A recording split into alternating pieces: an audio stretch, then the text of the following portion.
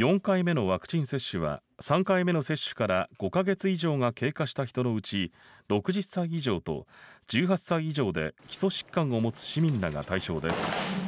使用するワクチンはファイザー社製またはモデルナ社製です。